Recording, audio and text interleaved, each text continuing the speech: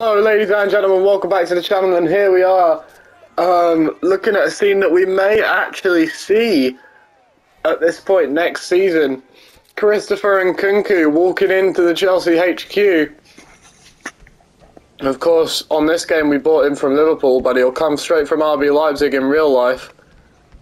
Running, doing his shit. You know, the black guy's loving life in the background there. Always giving him the number nine. Oh no. We did have Benzema on nine, but then I swapped him on 19 to see if the game would give him the, the, the cursed number, and it has.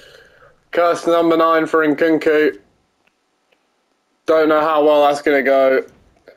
But also, oh shit, what we do know as well is that because of this, um, what am I doing? Because of this, Kevin De Bruyne has left the club. Um, he was really starting to slow down, and we got 40 something million for him to go to Real Madrid. So, uh, yes, uh, and Nkunku's a higher rating, he's younger.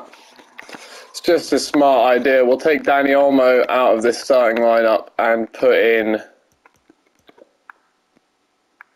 How did what happened here? How did this happen? Anyway, and we'll put in Nkunku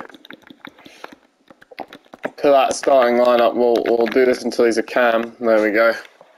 Boom. There's the team. And I'm not even going to show you the rest of the window because I'm not going to do anything. See ya.